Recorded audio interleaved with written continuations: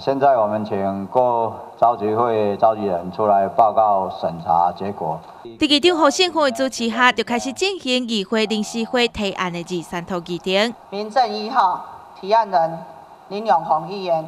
各议员有意见无？无意见，本会啊，现在进行第二套。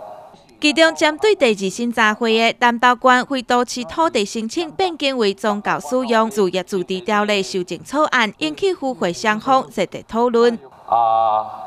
寺庙吼，现主是伫九十三年定这个自治条例以后吼，啊，因为因为这个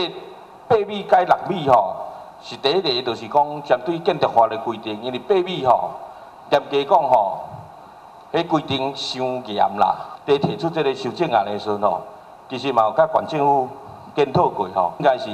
八米加六米是会当会当符合吼，这个现况来使用才对。啊，如果说是违反哈中央的规定的话，那这个案子等于说这样的修正也是无效的。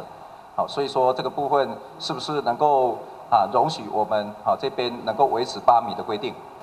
呃，用地的一个变更啊，那道路啊的一个宽度啊。我们在这个变更的一个规定啊，它是没有限制是几，无限制。对，啊，农业用地你当要变更做宗教用地，那牵涉到第一个，你要做非都市土地变更，你营建署的法令跟地政局的法令，嘿，回多几套地没关吧？那个处长，那个处长，我们就照我们小组的规定改六米嘛，正经未使提出的中央当然无啊，要搁改登来八米吧，好不好？会中针对第三审查会的南投县电子游戏场业设置管理自治条例草案有疑虑的所在，机关也积极替民众来争取权益。是九二以前有有领食的吼，啊无来办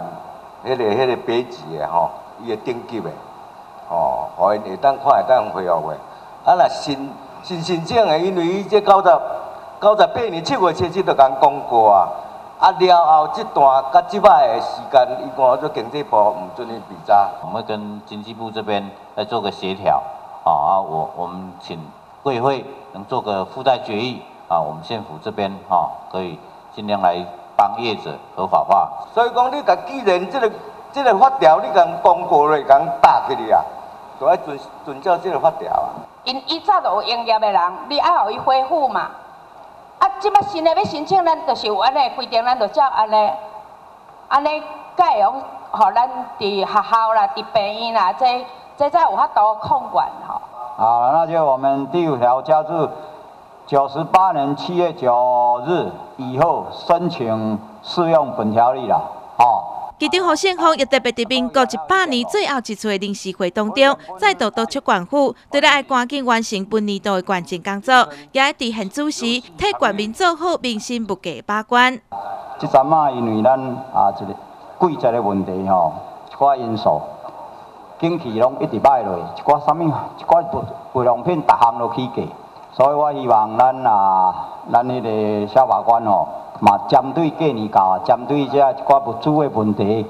爱去了解看卖，卖互伊话一寡厂商乌白太高迄个价钱啊，哦，互咱南道关，咱啊，咱这时代，